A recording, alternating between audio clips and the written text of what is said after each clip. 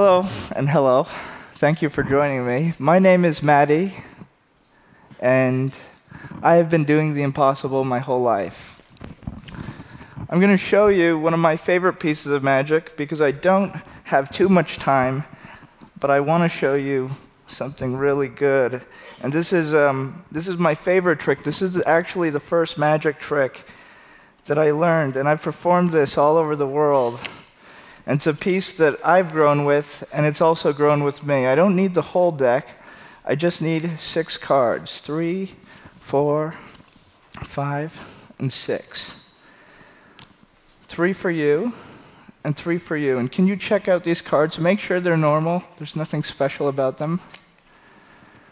Three blacks, and three reds. There is actually something a little bit special about them. I've uh, designed these cards.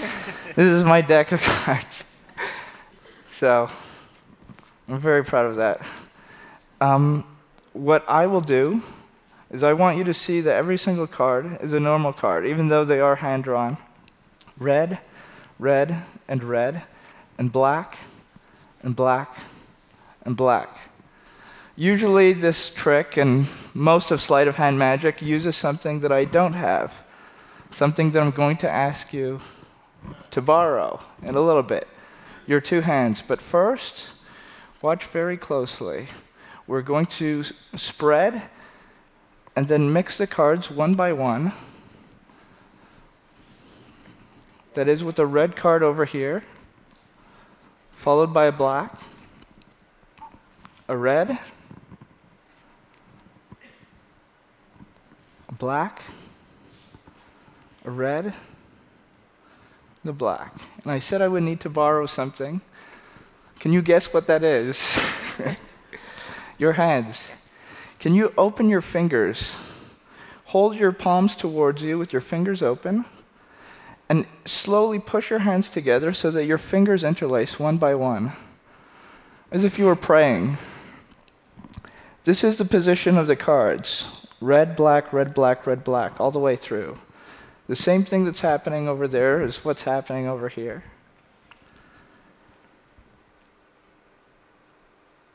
Pull your fingers apart. Close your fingers. Put one hand on top of the other. Because you do that over here, even over here, we didn't touch anything. Because you do that over there, the same thing happens over here. We should now have black, black, and black, and every single one of the reds together.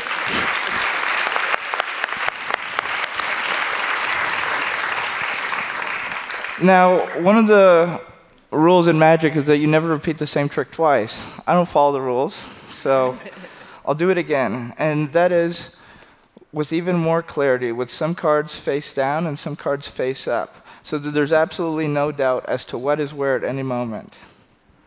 So, red, and red and red and black and black and black, black and red and black and red, black and red. One more time. Same position. Just like that, the same exact thing should happen over here. Even though these were just mixed, red, red, red, black, black, black, one by one, so they were interlacing. Because you separate them over there, they should be separated over here. One more time. All the blacks and all the reds. Can you take these? And you take these? And you guys mix them this time. So you put a card, and then he can put a card.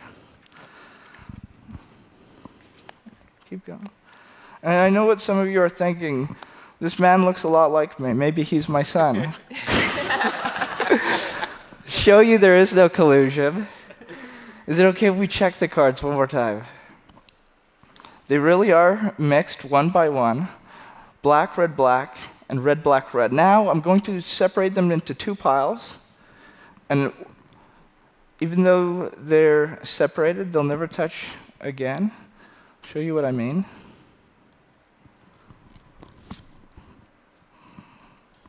To show you all the cards once again. Hopefully the camera can pick this up.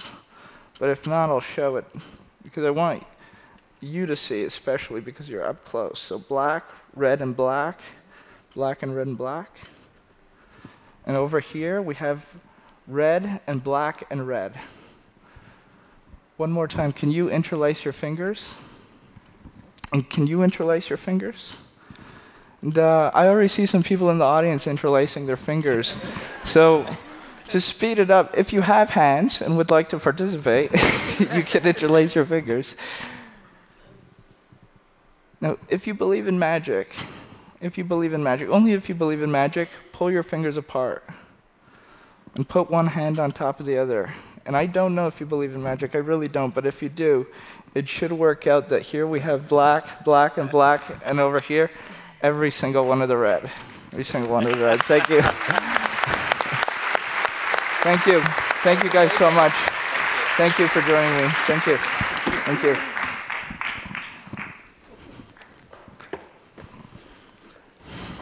Mahdi Gilbert. Hey, Mahdi. How are you, Eric? Well, I'm great. How are you? I'm pretty good. Good to see you. Good to see you. So I'm going to let Mahdi do most of the talking here, but I just wanted to say one quick thing about the, the, the day we met, uh, which was in San Diego some years ago at a magic conference.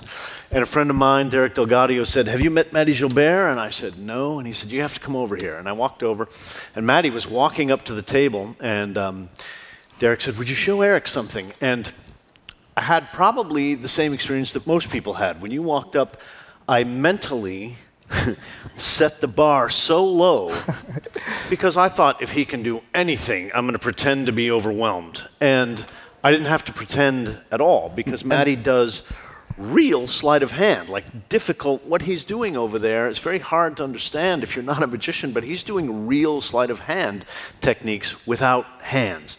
So um, let's have a little conversation about your life. Can we start with uh, a lot of people maybe don't know you also don't have feet. yeah. And uh, so let's talk about your physicality and how you were born and what, um, what that is. yeah, so it's one thing, it's funny, uh, everybody has a question, but basically nobody asked me. I guess there's a code of etiquette in society. But a lot of people want to know why I am the way that I am, and I was born the way that I am. And the reason that I was born this way is because when my mother was pregnant with me, um, the baby needs a few things to survive. There's an umbilical cord, and it connects you to the mother, and you're pumped with oxygen and blood and all the nutrients that you need to survive. And um, in between me and my mother, there was some sort of a problem when I was in the womb. And so I was cut off from that. And usually, what happens is the babies die in the womb. Um, but me, instead of dying, my little body uh, kept all the oxygen and the blood and all the important stuff for my heart and for my brain. And then it just got rid of what it, I guess it knew it didn't need and um, that was able to get me through. So you have no hand, no feet, and Yeah. where your Um, so on this leg, uh, well, I have a brace on this leg and a prosthetic on this leg, but basically, it's um, my shoes are uh, are on, not on my feet. yes, okay. uh, so that's a lot of challenge to be born with, right? So tell us maybe a little about your childhood and what that was like. Yeah, you know, um, I, I always felt pretty. I, I don't know. I, I guess when you're a child, you you um, you don't see anything unusual about your life and or your circumstances. Um, we grew up in a very poor poor family Where were you? uh, in Toronto. I'm born in Toronto, and we lived in you know social housing, and um, my mom had four kids, and my my father left when I was born. Um, so we you know we were we were pretty poor. We we didn't have a lot of the things that most people had.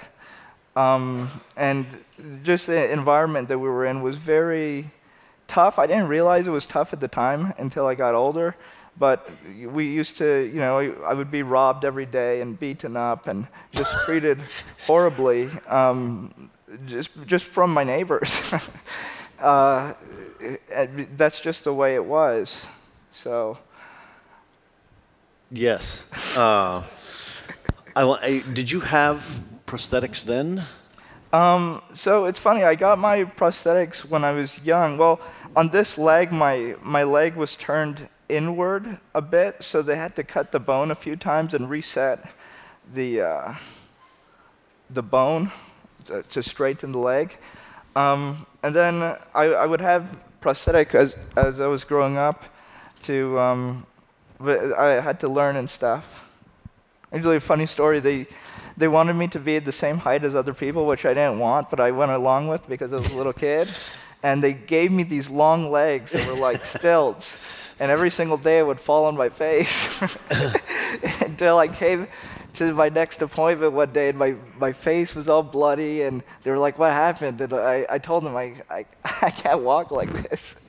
so they gave me shorter legs. So. What about uh, school? Were you a good student? I was pretty good. Um, I, I had uh, some difficulty in school because uh, one of the one of the things that I didn't mention, just growing up, I always felt like everybody was looking at me, like there was a lot of heat on me at all times, and kids have no filter. so they'll be like, "Hey, look at that kid," and you know, like you always feel super self-conscious. So when I was growing up, I had a language disorder, uh, which made me really self-conscious. So I wouldn't talk much, and I wouldn't really uh, do my homework and stuff. So you know, the whole school, uh, the school system didn't really know what to do with me because they knew that I was smart, but I just didn't respond um, the way that I should have. So uh, tell us how you came to magic. So, um, how old were you? You know, it's funny. I never saw magic growing up. Magic's sort of something that I knew existed. I would hear people talking about it.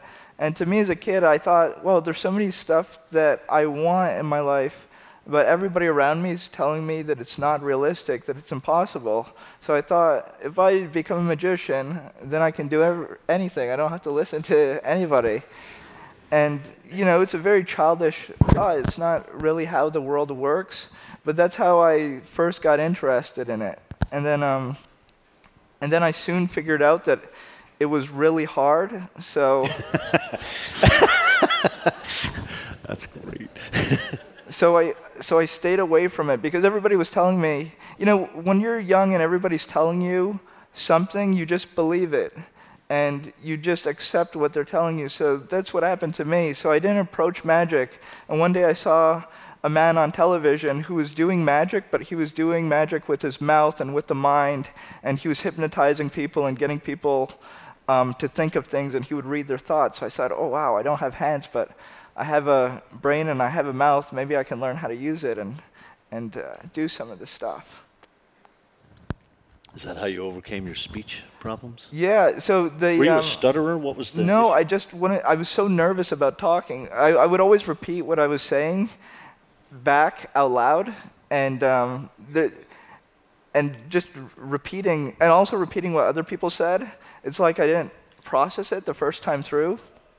Um, and so this guy who I had seen, who was a mind reader, he was also very much into um, psychology and stuff and, and hypnosis. So I'd read books about self um, self hypnosis, and I would read on like how to increase your confidence and how to um, just how to convince your mind of certain things just through repetition and through affirmations every every day. Right, so verbal magic makes sense to me. Uh, it's really hard for me to imagine how someone like you goes, I want to do sleight of hand. what, uh, how did you get to there? So, I, um, so with the mind reading stuff, I didn't know that there was a trick to most magic, so I would actually try to read people's minds. um, That's awesome. And um, I, I pretty I I became pretty good at it. I mean, there's there's there's psychics that so I mean, I don't know if some of them have powers, but some of them don't have powers. They're just very good at reading people. So I sort of developed those skills, and I had been using them in in high school basically to do psychic readings, and I became quite proficient at it. Um, and there came a point where I didn't just want my magic to be mental or you know something that people had imagined, something in their mind. I wanted it to be something that they could see and touch and feel. I wanted it to be real, like the guys who I looked up to who did you know big illusions and things with cards and just you know making magic happen in real life. So when I was um, 16 years old, I said, I'm, on my 17th birthday, I'm going to learn how to do magic and do sleight of hand.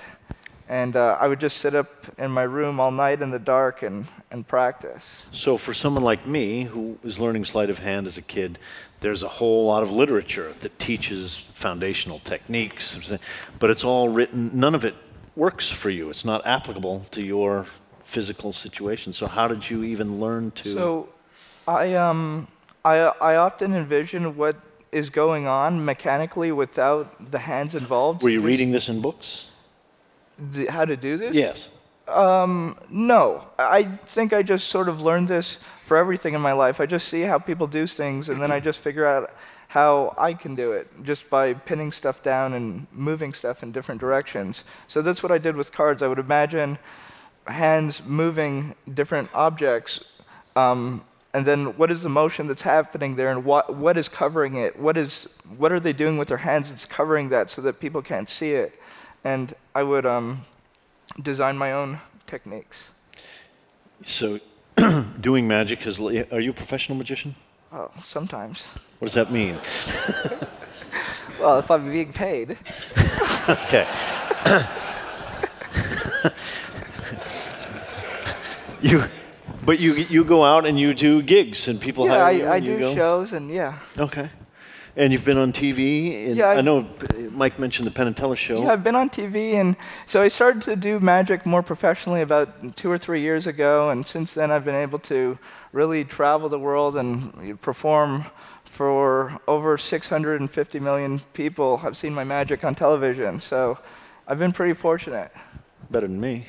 Well, just more, not better. So uh, we're going to run out of time. I want to do two more things. Let's okay. talk for a minute about what is next for you. What are you planning? What are you going to do? And you were telling me about a project that you were thinking of doing, uh, walking across America. Yeah. Um, you know, I, uh, there's a few reasons. I'm a big believer in metaphors and magic, and I view magic as something that is real, but people don't realize that it's real. And um, so, one of the reasons why I do magic with cards is I want people to realize that they're seeing something impossible even before they see the trick. Um, and I want them to understand that metaphor. And I thought, well, what a great metaphor for me to do something even more magical I was born without feet. What if I walk across America? And it's something I've ever, I've always wanted to do ever since I was a little kid, having surgeries and stuff. But it's become very serious in my my mind. And so you're planning to do that. Yeah. When? Uh, pretty soon. you're just gonna. I mean. Yeah. how how I mean, how deeply planned out is this, or are you just gonna launch? No, I I've I mean I know how to walk, so. Fair enough. You also do some speaking.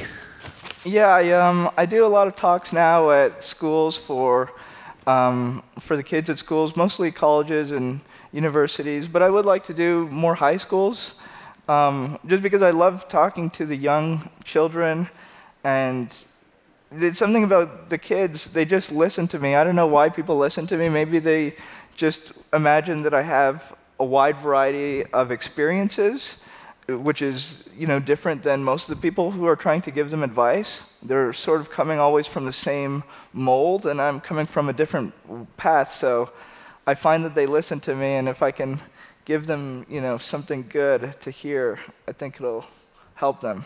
Can we do one last thing? Yeah. I'm going to call an audible here. Okay. Uh, you and I are going to do in different styles a um, top stock blind. Okay? Yeah. Okay. So uh, that was code for what I'm about to show you. Uh, I have a deck of Mahdi's cards, and if you haven't seen these, I don't know if we can get a camera on these. Uh, Mahdi drew these himself. Can we get, is that camera over there? Can you get up close to this? The back design, which Mahdi drew here, is a, there we go, uh, fan, a royal flush fanned out being held by a stump. Well, I, I call it a hand. A hand? Well, I- Fair enough, on, fair enough. on the box, well, the, mo- the motto on the box is "Play the hand life dealt you," and I want to show royal flush. So Great. Great. Uh, so, I was just going to show briefly uh, when you study foundational sleight of hand magic as a kid, as I did, you learn basic techniques. This is a, an overhand shuffle, okay? And they'll, books will say with your thumb and your fingers grab the ends of the pack and just slap down like this. And, da, da, da. and um, I'm not paying attention to what I'm doing, actually. Uh, you, you want to use my deck? no, no. and what I'm actually doing, though, is uh, what magicians would call a blind or a false shuffle. I'm really shuffling the cards, but I'm controlling uh, a few cards. And in this case, uh, if we look at the top, I have, even though I shuffled the cards several times, that's two, that's three, that's all four aces, right? So it's just that's a blind shuffle, a controlled shuffle. I shuffle, shuffle, shuffle, but I've kept the four cards on top. And now, just to show you how Mahdi had to reinvent sleight of hand for himself, I'm going to have Mahdi do the same technique. Uh, I've just been shuffling, but maybe I can do something. I think that should get it. I think we should have an ace, another ace, another ace, another ace. Thank you. Mahdi Gilbert. Thank you.